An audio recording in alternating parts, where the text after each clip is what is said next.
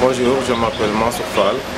Euh, J'ai créé K0, qui est un panier isotherme qui permet aux acteurs de la filière fruits et légumes frais de manutentionner, de conserver, de transporter leurs produits en toute sécurité et en tout confort.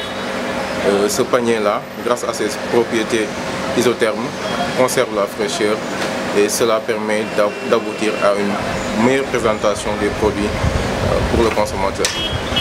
Euh, ce projet est motivé tout simplement par le constat que beaucoup de pertes sont, sont, sont, dues à, une inadaptation des, des moyens de transport, des moyens de conservation des produits issus de la Casamance.